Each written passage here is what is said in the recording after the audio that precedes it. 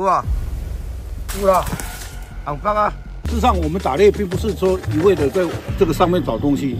那灰鼠来讲，它吃过的东西也会掉下来啊。所以这种状况就是我们祖先啊传教给我们的智慧。这边原这边也是一样，够用了我们就回家了。对对，也不会滥杀。我们今天就是跟着那个仁爱乡乡长，我们今天的主题就是跟着原住民去打猎。这个就是我们通常到猎场哈入山的时候的一种。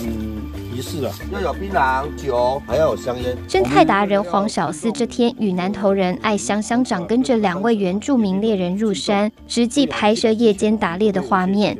过程中，黄小四与乡长数次强调，两位原住民不仅是合法打猎，也相当重视祖先传承下来的规矩，在打猎时都会注重生态平衡，猎物够用了就会返程，并将猎物分享给族人们一起享用。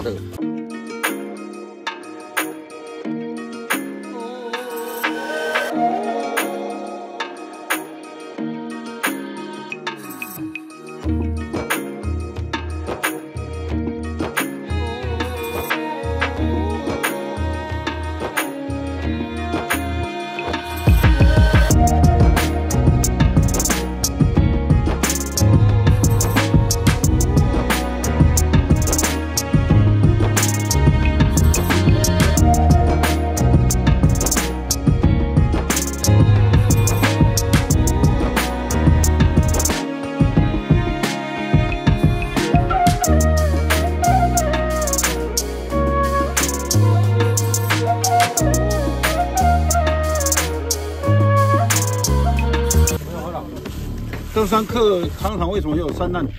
就是很多的禁忌跟他们他们没有实战经验。对，我们如果说晚上去打猎了，哦，走到山崎线上面，一般的人都认为说哇，头灯啊一直到上面，都不知道旁边的环境有没有陡峭的那个障碍。对，危险。哎呀，事实上我们打猎并不是说一味的在这个上面找东西。拿灰鼠来讲，它吃过的东西也会掉下来啊。人家讲吃烧饼怎么会掉芝麻嘛？对不对对对。所以这种状况就是我们祖先啊传教给我们的智慧。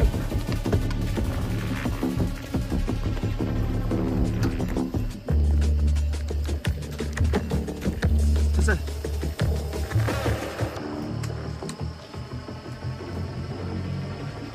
你们打你们打，等会。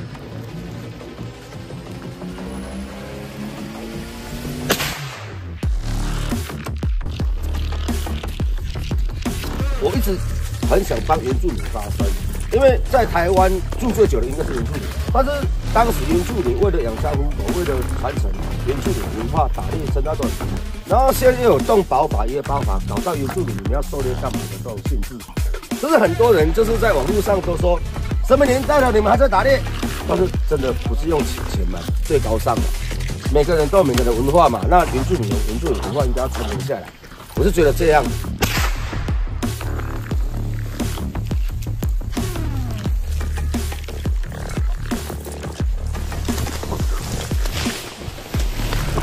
其实文化的价值跟它的独特性哦，在狩猎里面就完全展现出来。嗯，我们不能说用你们自己的价值观来看我们原住民的文化。我们常常在讲，台湾真正的主人是我们原住民族。对，没错。我们原住民其实都承袭着这种我们祖先呐所交代给我们的啊，什么时候可以去狩猎，什么时候不能狩猎，狩猎的时候你要有什么禁忌啊，这个都有传承下来。嗯嗯嗯。啊，事实上外面的人并不了解，你不要把它画作等号。慢慢来，没关系，还在还在。好，我给你点暖的。OK OK，来等我等我。哎，有没有？有。哦，好，我厉害哦。走走走。哦，成功成功。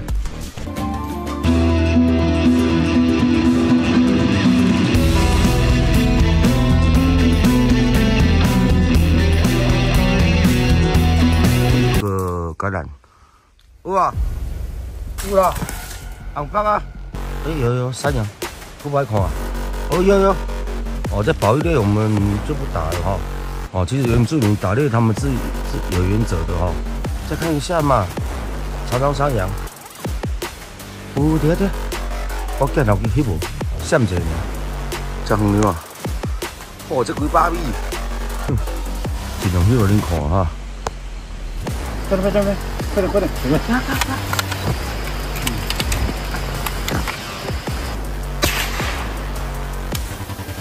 别动哦。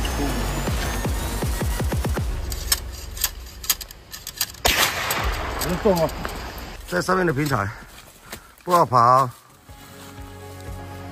我们枪支的运用啊，截至目前为止，管制还蛮多的哈。我自己的看法里面，应该把枪支啊，要去现代化，那我们狩猎的这个命中率高啊。